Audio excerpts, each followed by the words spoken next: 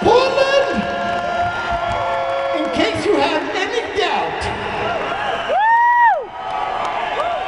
you are definitely a rock city.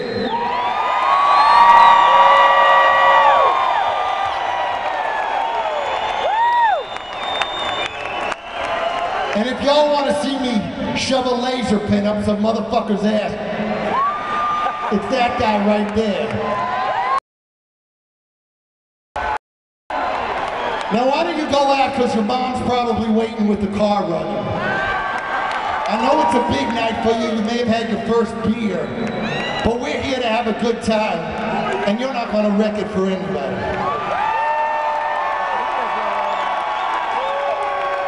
Go back home and turn on your triple X channels and pull out your Playboy magazines, but don't don't come back to see us again.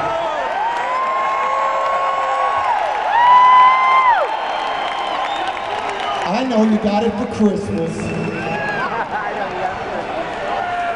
I was saying to you, Portland,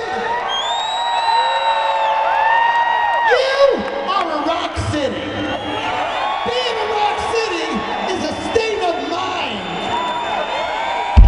Not one city owns it.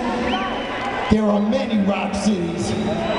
And you, you're one of them. But I tell you something tonight. Y'all come on the Kiss Jet with us? And let's head out to Detroit